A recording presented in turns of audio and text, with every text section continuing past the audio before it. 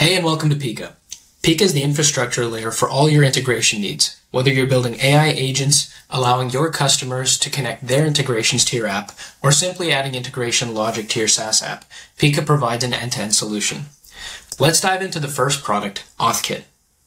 Here I've got an app that has AuthKit installed in it. When I click on Add Connection, I have AuthKit configured to pop open my customer to connect to Google Calendar. Let's go ahead and do this.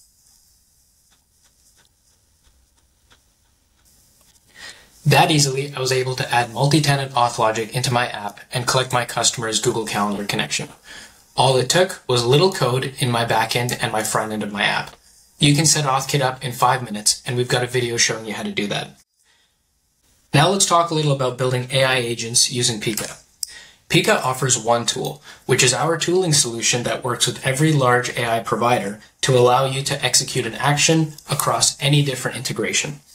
Pica's One tool is offered for Vercel's AI SDK, LangChain, supports Mastra, and works across anything you might need with any LLM provider. Here's a little demo using the app that we have here, the One Tool Chat demo. I'm going to go ahead and copy the connection key of the Google Calendar connection we made and head on into the code. As easy as this, I create a Pica client and I load One Tool into the Vercel AI SDK. Here, I'm going to pass in the specific connection key because all of Pica's tools allow fine-tuned access for agents. This means you can specify what connections, actions, and permission level your agent has, so you don't have to worry about your agent executing actions that it doesn't have permissions to. Let's go ahead and give this a try.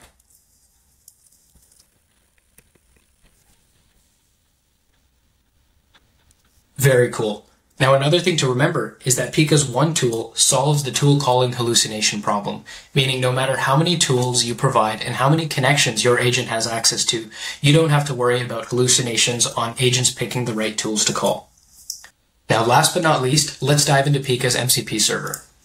You can think of Pica's MCP server as one MCP to rule them all. The MCP server has two primary functions, code generation and action executing. Let's talk a little about code generation. I've got the Pica MCP server installed in my cursor editor. I'm going to prompt it to create me a page that lists my Notion pages because I have Notion connected in Pica.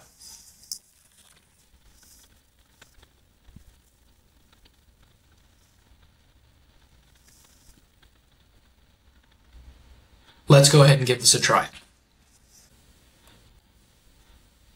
Here I can see all the pages that I've got in Notion easily visible in my table. That easily we added UI that integrated with Notion.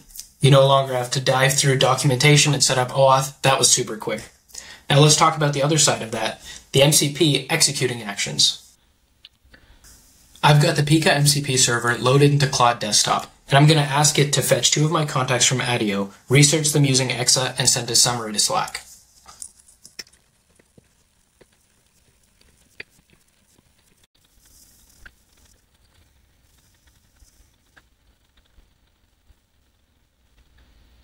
And here we can see that Pica did everything we asked it to do.